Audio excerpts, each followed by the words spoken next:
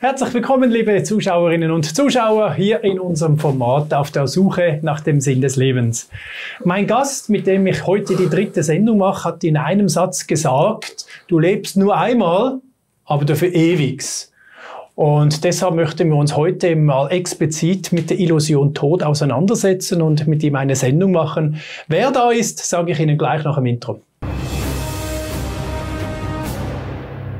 Ja, da sind wir wieder und da darf ich Ihnen meinen Gast jetzt auch zeigen. Er ist ein Dokumentarfilmemacher, hat über 25 Dokumentarfilme gemacht. Er reist die ganze Welt, um ein bisschen die Mysterien des Lebens zu dokumentieren für Sie zu Hause und für uns alle.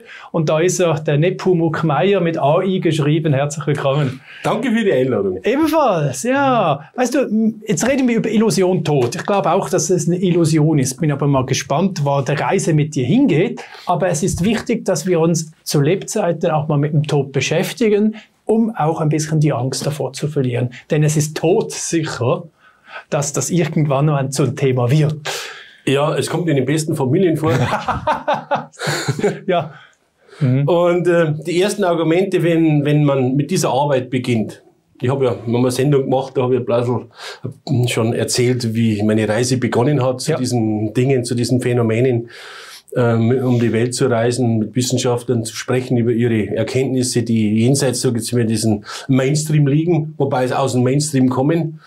Und da ist natürlich das Thema Tod ein, ein, ein, ein Thema, das uns alle betrifft. Früher oder später. Und bei diesem Weltbildwandel, den ich durchmacht habe in den letzten sieben, acht Jahren, meinen Recherchen und meinen Dreharbeiten hunderte von Wissenschaftlern kennengelernt, tausende von Menschen mit ihren Geschichten erlebt und, und Dokumente gelesen, wo ich sagte, das kann ja gar nicht sein, wieso weiß hier oder wieso wird dies in der öffentlich-rechtlichen hier nicht so kommuniziert, was hier die Wissenschaft tatsächlich schon weiß. Das hat mir ein bisschen schockiert, da habe ich gesagt, okay, und dann werde ich diesen Partner mal versuchen zu übernehmen und hier mal ein bisschen Aufklärungsarbeit, zumindest aus meiner Sparte, wie ich das sehe und wie diese Wissenschaftler, die ich aufgesucht habe, äh, was die gefunden haben. Mhm. Und das, was sie gefunden haben, das hat mit dem derzeitigen Weltbild eigentlich überhaupt nichts mehr zu tun. Das geht auch über die Religionen etwas ein bisschen hinaus. Und zwar haben die gefunden, dass diese Realität, die wir hier so als physisch sehen, eigentlich gar nicht gibt. Das ist, ist ähm, wenn ich äh, mehrere wie Jim Eldridge oder Tom Campbell und so weiter äh, als Physiker, die auch Experimente machen, um zu beweisen, dass das keine physische Realität gibt, die sind bald fertig damit und sagen, okay, das ist nur eine Art Spielumgebung, unser Bewusstsein, das hier in diesem, ja, diesem Körper, in diesem Avatar, in diesem Spiel hier geboren wird, aufwächst und hier, sage ich mal, seine Erfahrungen macht, ist eigentlich in Wirklichkeit gar nicht im Spiel, sondern eigentlich außerhalb dieses Spiels, so wie der Computerspieler, der vor seinem Bildschirm sitzt und seine Figur da drin bewegt, aber nicht selber in dem Spiel drin ist.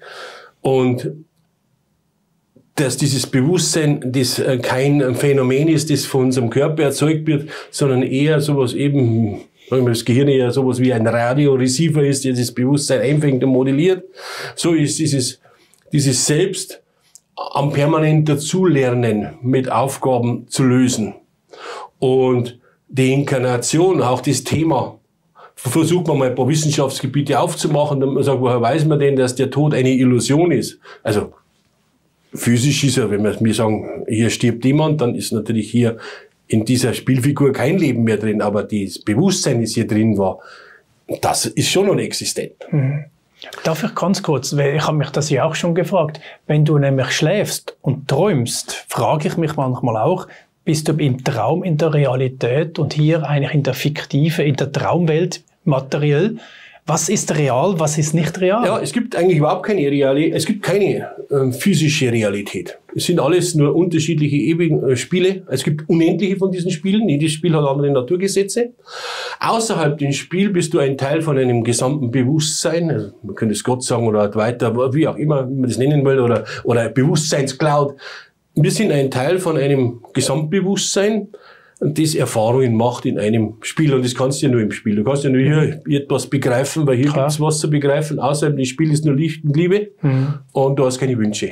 Action du, ist nur im Spiel. Hast du die Arbeiten vom äh, Professor Dr. Klaus Vollkammer auch mal gesehen? Ja, ich habe auch ihn interviewt, ja, mit seinen Wiege-Experimenten. Ja. Er sagt, wenn ich nachts schlafe, schlafe dann geht es um 5, 650 Gramm, wird der ja. Körper dann leichter. Und wenn ich aufwache, ist das Gewicht wieder zurück. Ja, jetzt wie, wie soll man sich das erklären? Warum ist das nicht ein Aufruhr gewesen, die ganze Welt hindurch? Weil er hat ja das alles sauber dokumentiert. Ja, beginnen wir doch einmal nicht beim Klaus Vollkammer, sondern gehen wir mal zurück in die Reinkarnationsforschung.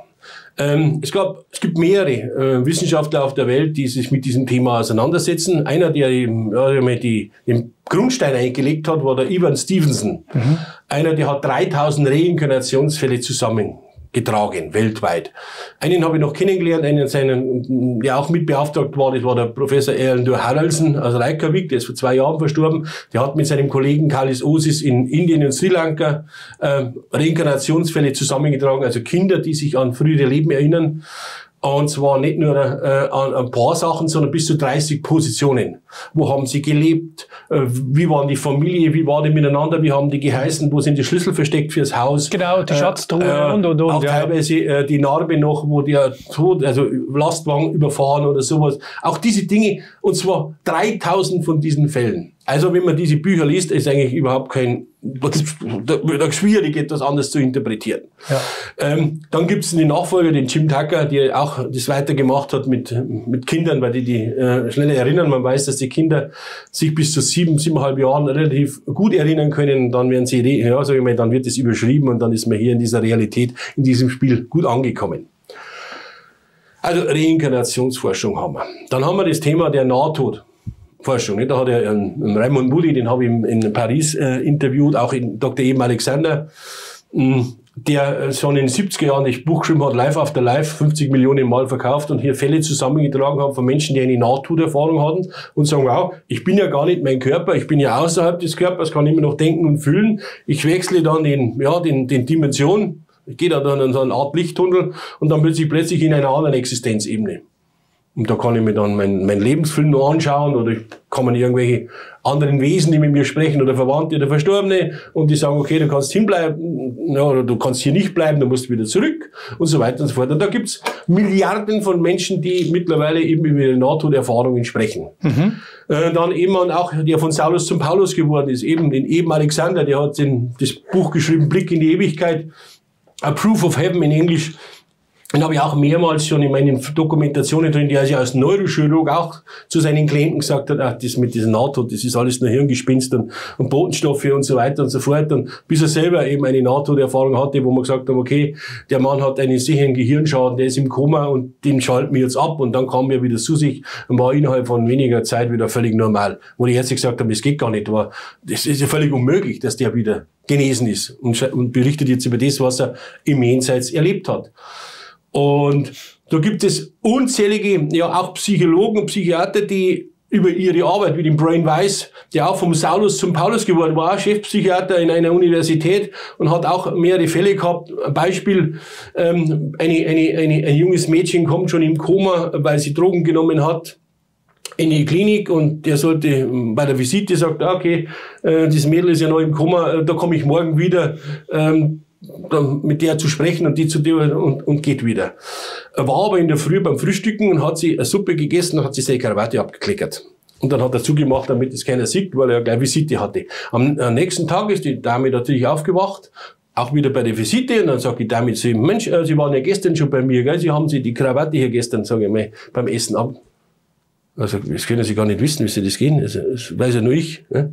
etc. Und dann hat er praktisch immer wieder mehr Fälle bekommen und hat festgestellt, wow, äh, das ist ja unglaublich und ist praktisch auch über diese Recherchen dazu gekommen, dass die Menschen tatsächlich Informationen bekommen in einem Zustand, wo sie gar nicht bei Bewusstsein sind.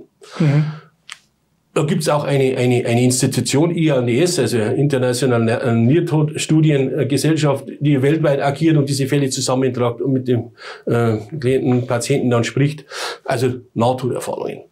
Dann haben wir ähm, Fälle, die so ähm, unglaublich sind, aber auch dokumentiert werden. Ich hatte äh, selber mehrere äh, Menschen, die zu mir gekommen sind und zum Vortrag und sagen, Herr Mayer, stellen Sie sich vor, wir haben unseren Großvater beerdigt. Hm? Drei Tage nachdem äh, Leute jetzt an der Haustüre gehen raus und wer steht draußen? Der Großvater. Die ganze Familie sieht den Großvater, der sagt, darf ich nicht reinkommen. Dann haben wir den genommen, gedrückt. Dann hatte der im Volumen aber kein Gewicht. Dann haben wir mit ihm zwei Stunden gesprochen. Dann ist er dreimal gekommen. Und da habe ich, ich weiß nicht, wie viel von diesen Fällen, die kommen dann und sagen, können Sie das erklären? Wir sind völlig durch den Wind. Da gibt es eine Forscherin, die auch über diese Phänomene auch mit, mit, mit Hospizen und mit, mit Krankenhäusern zusammenarbeitet, das ist die Evelyn Elsässer. Die hat zum Beispiel die ganzen Nachtodkommunikationsfälle oder viele davon dokumentiert. Die sagt, zwischen 50 und 70 Prozent, wenn jemand verstorben ist, kommt es zu einem sogenannten Nachtodkontakt. Man hört Schritte im Haus. Äh, es geht plötzlich der Fernseher oder der Radio an. Das Licht geht aus. Man hört Schritte. Äh, die Haustüre wird aufgesperrt, wieder zugesperrt. Es klopft am Fenster, obwohl praktisch eine Jalousie unten ist bis hin zur Vollmaterialisation. Alle diese Dinge, ich habe eine Dame im Bayerischen Wald, bei der hat's ja, um drei oder früh das Telefon geläutet. Das war nicht ungewöhnlich, weil sie hatte Untermieter, ja, ein größeres Mietshaus gehabt und geht natürlich daran, sagt, vielleicht ist irgendwas.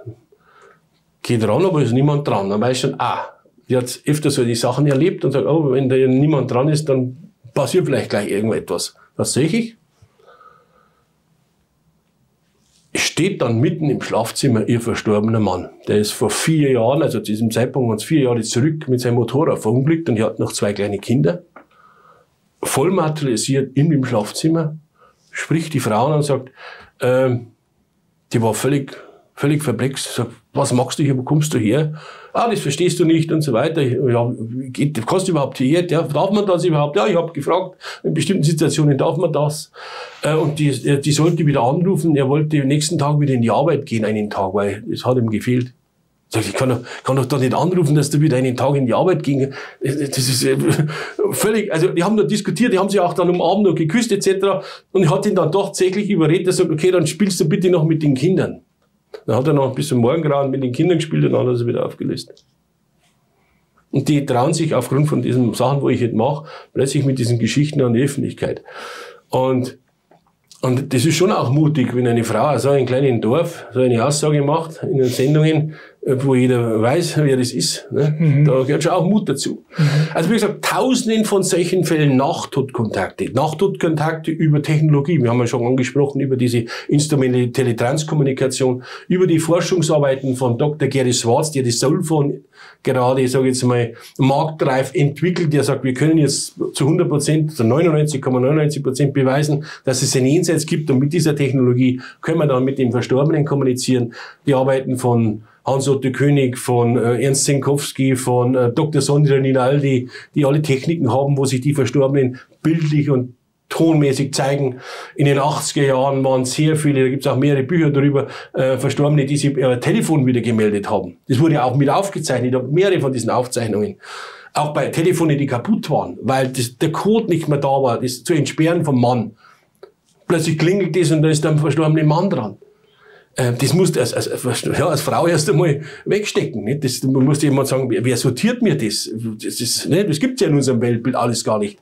Alle diese Phänomene, also Reinkarnation, Nachtodkontakt, äh, über, über, über ja, was man erlebt, wenn sich jemand materialisiert, oder über die äh, instrumentelle Transkommunikation, alle diese Phänomene und dann gibt's noch diese anderen Phänomene, die nicht hm, passieren dürften.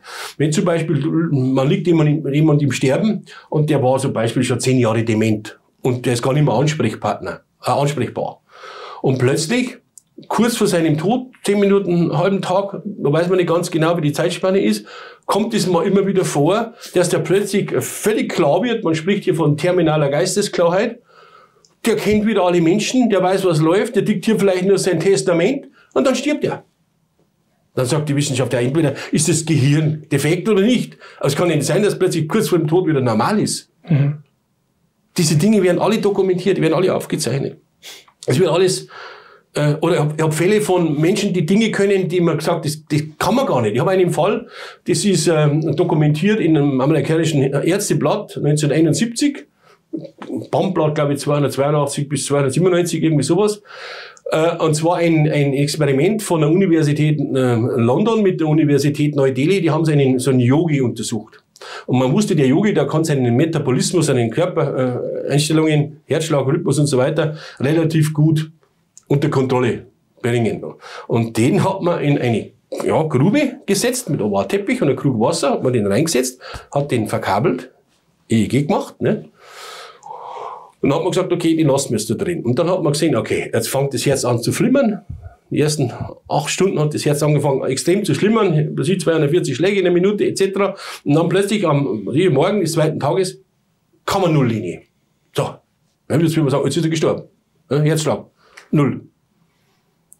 Hat man aber nachgesehen, hat gesagt, nein, alle, alle Kabel sind dran. Man wusste angeblich, dass der das kann, also hat man den auch nicht raus aus der Grube und hat das beobachtet. Dann hat man gesehen, aha, die Körpertemperatur sinkt auf 34,8 Grad. Also da hätte er eigentlich ersticken müssen, weil kein Hämoglobin mehr im Blut transportiert wird. So, und dann sitzt er da drin, am achten Tag kommt er wieder raus, dann beginnt er wieder zu zittern, der Herzschlag setzt wieder ein, braucht einen halben Tag mit Glas Milch und so weiter und am Nachmittag ist er wieder völlig normal. Der konnte ja nicht nur beim Murmeltier seinen Herzschlag verlangsamen, sondern auf Nulllinie. Völlig ausschalten. Es gibt ein ähm, Experiment im Himalaya von einem ähm, Professor Benson mit seinem äh, Forscherteam. Die haben Mönche untersucht, die ihre Wäsche trocknen. Und die haben da, da oben in dieser Höhe keinen Wäschetrockner, sondern die machen so, dass sie Wäsche waschen, machen sie nass, dann ziehen ihren Oberkörper blank und hängen die Wäsche um den Oberkörper und erhöhen dann ihre Körpertemperatur um 14,5 Grad. Das heißt, man müsste sterben, bei 42 Grad schmelzen die weißen Blutkörperchen und bist tot. Die nennen diese, diese Meditationstechnik Sumo und dann trocknet die Wäsche, die verdampft dann. Auf der umgekehrten Seite haben wir dann den Wim Hof. Ich meine, da wird ja auch schön dokumentiert, der Wim Hof. Ja. Mit seinen Atmungstechniken. Ja, genau. Der kann ja auch im Eis drin sein und letztendlich der, also stundenlang also, und dieses Eis schmilzt. Genau, also das zeigt, dass diese, diese pathologischen und physikalischen Phänomene dokumentiert werden können.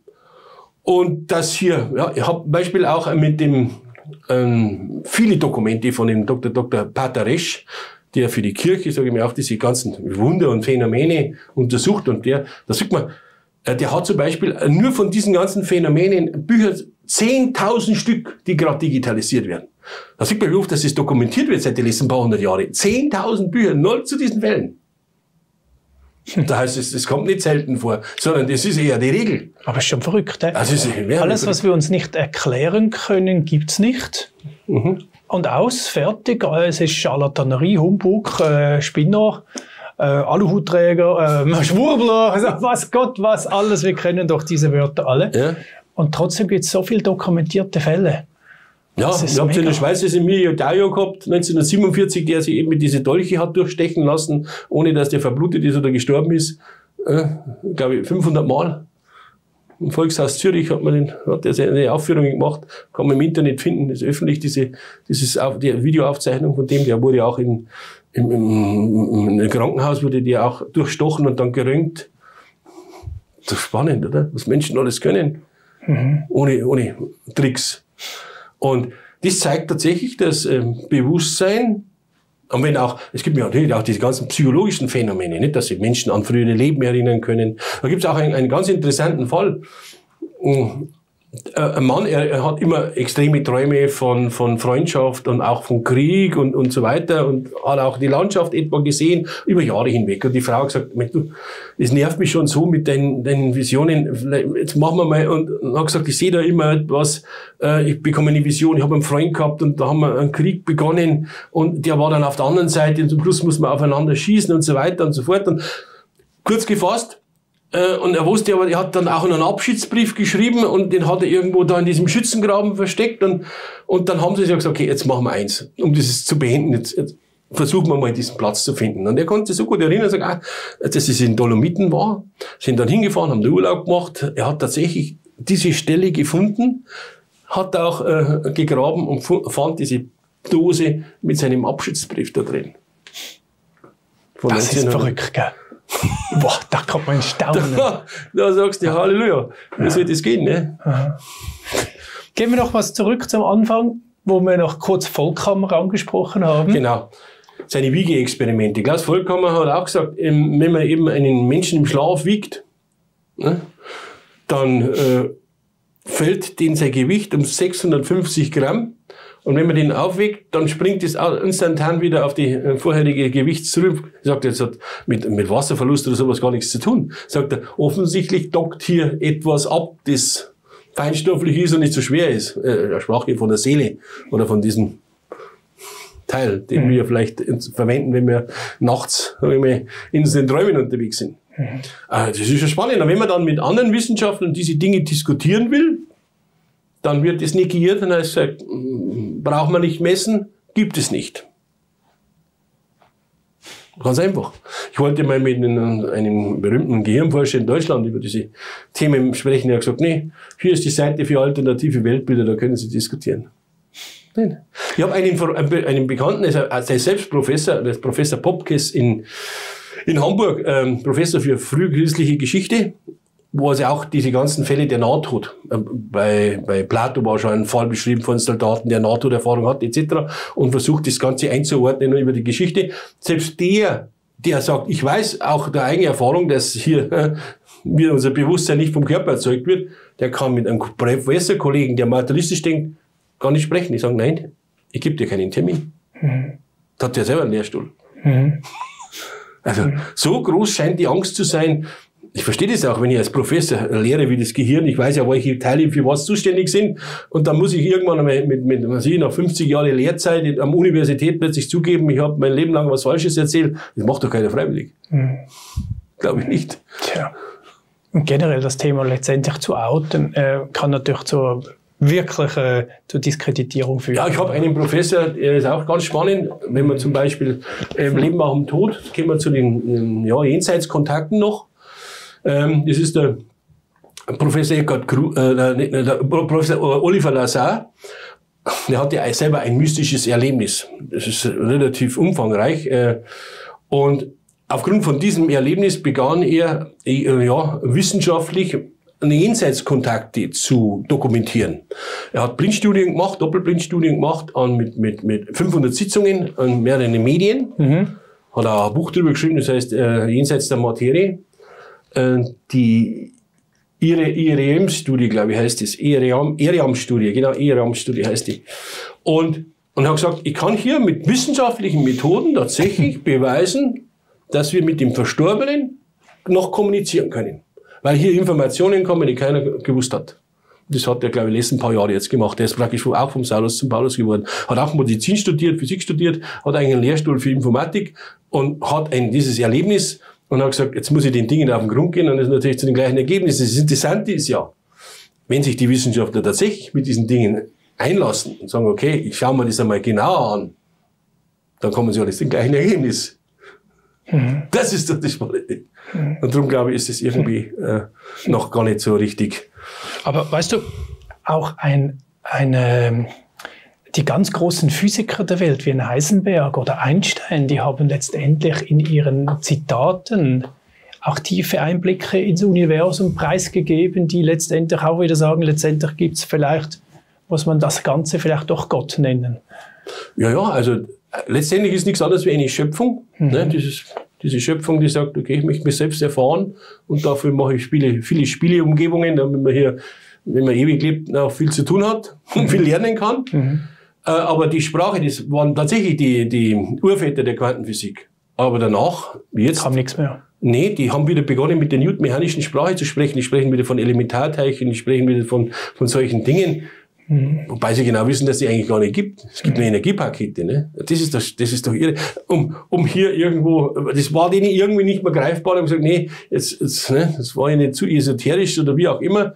Aber wenn die Welt eben so ist, dann kann ich nicht sagen, jetzt machen wir es aber zwangsweise materiell. Mhm.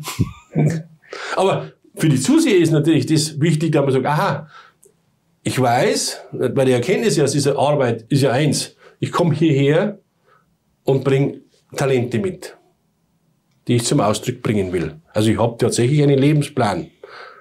Bestimmte Dinge, die ich ja, lernen darf, äh, in diese Erfahrungen in Liebe zu lösen. Wenn ich es hier nicht, in diesem Leben nicht schaffe, mal es im nächsten. Das heißt, wir werden hier nicht per Zufall geboren oder und, und leben ein Leben und dann ist alles vorbei und ich muss versuchen, über Transhumanismus versuchen, alle Teile auszutauschen, damit dieser Biocontainer möglichst lange überlebt macht ja gar keinen Sinn. Ich gehe raus aus dem Spiel und schaue mir den Lebensrückblick an und sage, okay, das war gut, also nicht so gut. Lerne ich das auf der gleichen Ebene oder gehe auf einer anderen Ebene, um das zu lernen. Einer, der, den ich fast als Pflichtlektüre in den Schulen einführen würde, ist der Jürgen Ziebe. Sensationeller Mann. Jürgen Ziebe ist ähm, in der Zeit 75 knapp, ähm, hat in Hamburg Kunst studiert und 69 dann ja, verheiratet nach England gegangen und hatte aber eine, ja, Zeit der Zeit so ein bisschen eine Depressionsphase und ein bisschen niedergeschlagene Phase. Und ein Freund hat ihm empfohlen, hier, soll doch bitte mal mit Meditation probieren, vielleicht hilft ihm das, aus dieser Krise zu kommen. Das hat er gemacht und hat während dieser Meditation sofort oder relativ schnell seine erste außerkörperliche Erfahrung gemacht. So, aber zu diesem Zeitpunkt wusste man da gar nichts. Das Buch von, von ähm, äh, ähm, von der ersten außerkörperlichen Erfahrung von Bob Monroe ist erst 71, glaube ich, erschienen. Also hat er ein bisschen gebraucht, überhaupt festzustellen, was ist überhaupt, was passiert da überhaupt mit mir. Und nach, im Laufe der ersten paar Jahre hat er das, äh, sagen wir mal, kultiviert und konnte das äh, relativ gut äh, einen, sage ich mal, Außerkörperlichkeit in einem Traum, in einem luziden Traum und diesen Trauminhalt aufzulösen und wusste dann, ach, jetzt bin ich in einer anderen Realitätsebene. Und das hat er dann auch in fünf Büchern verfasst. Er nennt sich selbst der Multidimensionsmann und sagt, ich bin da in diesen Realitätsebenen unterwegs wie ein Reporter und sagt, wo bin ich hier, was ist das für eine Realität, was macht's hier, was kocht's hier, was esst hier, was arbeitet hier, wie schaut die Architektur aus, etc. Weil er sagt, es gibt unzählige Realitäten, die genauso physisch sind wie hier, aber alle anders ausschauen. Und Menschen, die verstorben sind, vielleicht gar nicht wissen, dass sie verstorben sind. Der trifft seinen verstorbenen Freund, der ist an Krebs gestorben. Und äh, sagt der Mensch, ja, Jürgen, schön, dass ich dich wieder sehe. Gell? War mal eine Zeit lang gar nicht so gut beieinander, aber jetzt geht's mir wieder besser. Der wusste gar nicht, dass er schon in einer, in einer anderen Realitätsebene ist und so weiter. Und das schreibt ihr zusammen und bringt es in Büchern raus. Und das ist eine unglaubliche Wissenschaft, was hier alles möglich ist, was hier, er kann zwar nie sagen, welche Ebene das er rauskommt, in welchem Spiel, aber er weiß, es gibt auch zwei, die sind noch etwas, ja, finsterer, wenn man es einmal so sagen darf. Früher hat die Kirche gesagt, Hölle oder Fegefeuer. Äh, das ist tatsächlich so, weil es bestraft uns ja niemand, wenn wir verstorben sind, sondern wir sehen ja das selber, was wir getan haben, indem dass wir einen Lebensrückblick bekommen und sehen, oh, diese Handlung war nicht so gut, die Handlung war besser. Und wenn du so meinst, du musst ein bisschen ja, aggressiver oder wie auch immer unterwegs sein, dann kommst du auch natürlich in Bereiche rein, in Realitäten, die halt lauter solche sind. Ne? Man könnte sich dann untereinander austragen, bis die dann spannen und erkennen, ja, vielleicht wäre der liebevolle Weg doch besser, als wir permanent den anderen hier ins Köpflein einschlagen. Aber da braucht es einen gewissen Erkenntnisstand. Es kommen, in jeder dieser Ebene kommen sogenannte Guides, Führer, die sagen, okay, du, pass auf, wenn du das machen würdest, oder wie schaut's aus, hast du ein bisschen was gelernt, etc. Und, und so hat man die, merke die Möglichkeit, sich weiterzuentwickeln. Und dann verändert man auch die Inkarnation und die Spielumgebung, wo man drin ist, wo man lernen kann. Also grob zusammengefasst. Mega. Weißt du, alles, das ganze Gespräch geht einem richtig ins Herz und es fühlt sich doch einfach gut an. Und wenn ich wieder beginne mit einem Zitat von dir, äh, leider leben wir nur einmal, aber dafür ewig, im positiven Sinne. Äh, und alle diese Beispiele hören, äh, dann kriegt man vielleicht wirklich ein Verständnis darüber, was der Mensch wirklich ist. Und dass das einfach wirklich nur vielleicht ein Gefährt ist, der uns temporär transportiert. Mhm. Ich danke dir ganz herzlich für diese ganz großartige Sendung. Und Ihnen, liebe Zuschauerinnen und Zuschauer, hoffe ich, dass wir da damit etwas von dieser Illusion Tod äh, eigentlich verändern konnten oder etwas anderes darstellen durften oder einfach mal sich damit zu beschäftigen mit diesem Thema über Reinkarnation oder eben über alle diese Erfahrungen. Da muss ich noch eine Klammer machen. Hast du auch einen Dokumentarfilm darüber gemacht? Spiegelbestseller. Spiegelbestseller. Aber das war nicht geplant. Großartig. Also eben, man beschäftigt sich gern damit, man schaut sich das gern an, aber man redet nicht darüber. Super. Alles Gute, reden Sie darüber. Bis ein anderes Mal und auf Wiedersehen miteinander.